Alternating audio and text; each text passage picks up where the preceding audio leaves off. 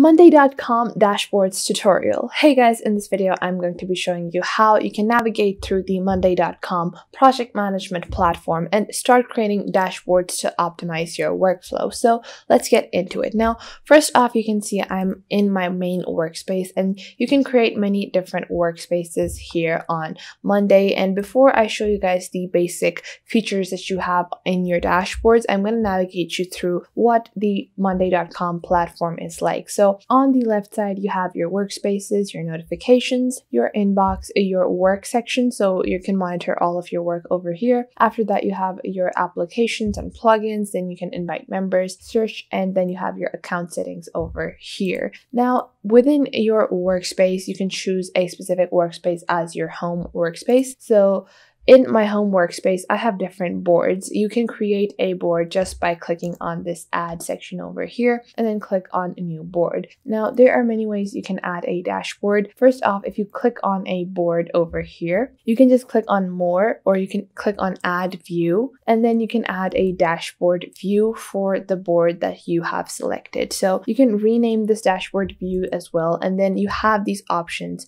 to visualize your board data. So you can have a battery battery widget, you can have a calendar widget, a chart widget, a Gantt widget, a number widget, and a workload widget. Now, this dashboard helps you visualize your data, and that is what basically dashboards are for. Usually, dashboards are used by clients to monitor workflow. So, to add maybe if you want to add a workload widget, you just click on this icon over here, and then you're going to add your workload widget. So you can see over here, I have my workload widget, and then obviously I haven't added any tasks to my workspace yet, so it's empty. But then you can monitor today's task if you want weekly or daily workloads. And then you can see over here, you can make this a full screen widget as well to monitor workflow within the dashboard. You can rename it, you can change these settings to customize what kind of items you want to display on your dashboard widget. And then you even have time columns columns. So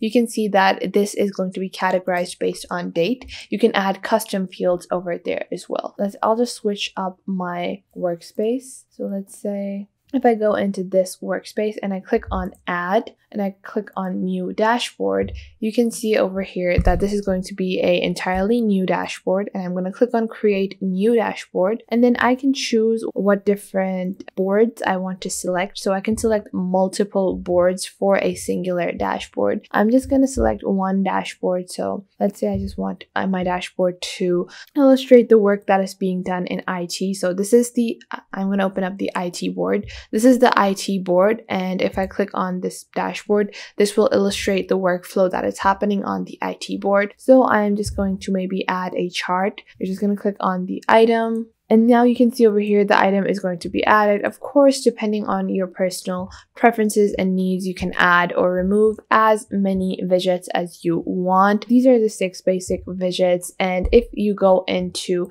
apps, you can find more widgets as well. So if you search for widgets, so you can see over here, the Circle CI widget enables you to build your own widgets and automations to add to your dashboards. Now, you might be wondering, although this is a great feature, this is not very functional in terms of doing your work. And that's the thing. Making a dashboard is not for you to actually do your work. Your work is going to be done on a basic board like this. So the dashboard is only going to serve as a illustration of how far apart the work is, how it's being done, if it's on time, what the workload is, what is the average timing of your tasks and all that. The basic work is still going to happen on your basic board. And a tiny little limitation that I find with Monday.com is that their dashboards are very limited to one dashboard per workspace or one dashboard per board. So I can only make one dashboard for one board if I'm using the free version of Monday.com. So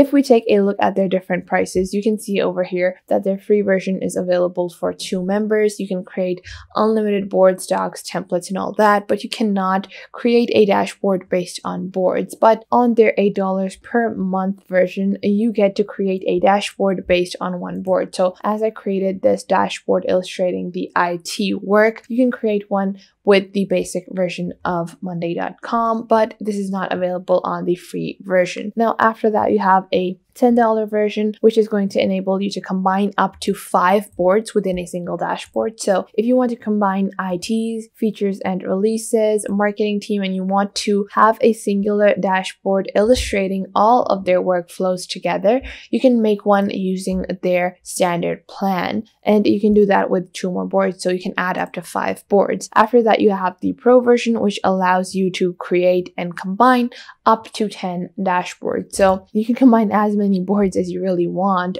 on the pro version. And although it's 10 boards that you can combine, I usually find that after three, your dashboard is going to look a bit clogged. So you might want to stay at three. And if you click on add widget over here, you can see different apps that enhance your dashboards with widgets that are built in the Monday.com apps framework. And you can view different widgets in the widget center provided by Monday.com. You can add collaborative whiteboard, you can add online docs, goals, board to globe, you can add a Facebook feed, you can add a Twitter feed, you can have a embedded Airtable, you can have a word cloud and all of these different widgets. So this is just a general overview of how dashboards on monday.com work. Although I find these very helpful, I would suggest that there are many other project management softwares such as Trello, which will enable you to do your work far better than doing it on monday.com as although monday.com is very detailed i find it to be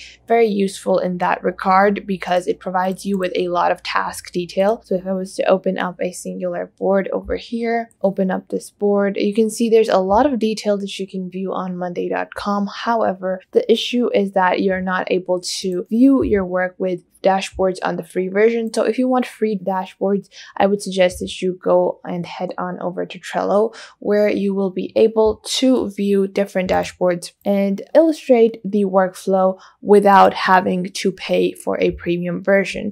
Not only can you do this on Trello, but you can also do this on ClickUp and ClickUp is also another project management software that is going to help you in organizing so you can also add a very beautiful dashboard here on ClickUp. And if you just click on view and you can add a map, you can add a mind map and the general dashboards here available on ClickUp are far more comprehensive. So if you click on dashboards, you can click on add a dashboard and then you can type whatever kind of dashboard this is. You can add a widget and all of this is available for free. So you can have a task list, a workload status, time reporting, calculations, portfolios, tasks by assignees, chats, and text blocks within your dashboard on ClickUp. And I find this to be a bit more comprehensive as compared to Monday.com in terms of illustrating your work. However, if you're more oriented towards your work and you want more detail on your actual boards, go with monday.com. But generally, the dashboards on ClickUp do work a bit better. And this is just my personal opinion, but monday.com really does do dashboards well as well. So I hope you guys found this video helpful and I will catch you guys in the next video.